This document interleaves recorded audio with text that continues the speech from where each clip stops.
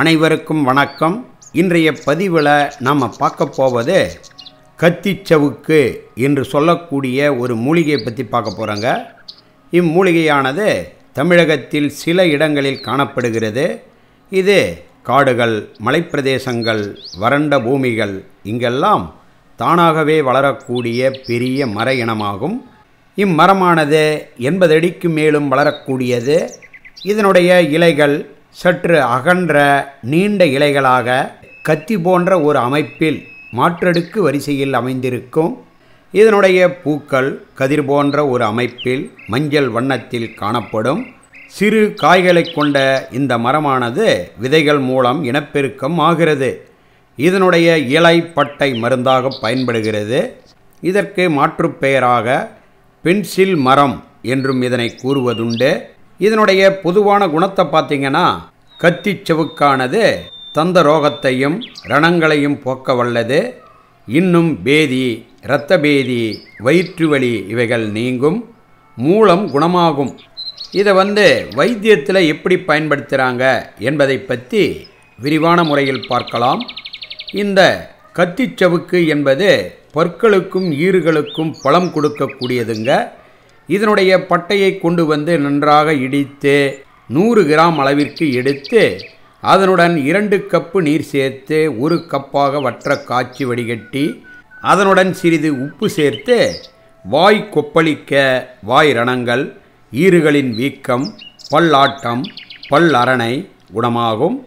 இந்த கஷாயத்தில் உப்பு சேர்க்காமல் ஐம்பது மில்லி அளவிற்கு எடுத்து காலை மாலையாக உள்ளுக்கு சாப்பிட பேதி இரத்தபேதி சீதபேதி இவைகள் குணமாகும்.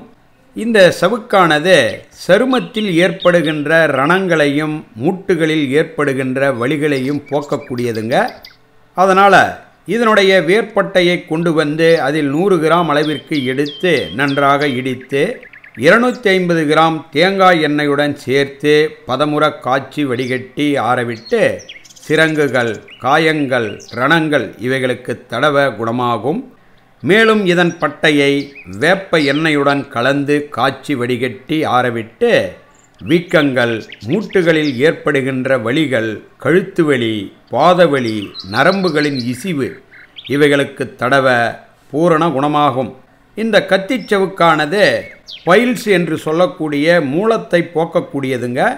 இதனுடைய இலைகளை பறித்து வந்து அதற்கு சமபாகம் துத்தி இலைகளை சேர்த்து நன்றாக இடித்து தேவைக்கேற்ப நீர் சேர்த்து பாதியாக வற்ற காய்ச்சி வடிகட்டி ஐம்பது மில்லி அளவிற்கு எடுத்து காலையில் மட்டும் தொடர்ந்து ஒரு மண்டலம் சாப்பிட அதாவது நாற்பத்தெட்டு நாட்கள் சாப்பிட்டு வர மூல நோய் குணமாகும்.